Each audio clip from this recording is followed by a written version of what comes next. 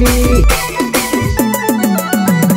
सगळी वातो मे तन मुख लावली आ परी देज जानू मे भळवायावली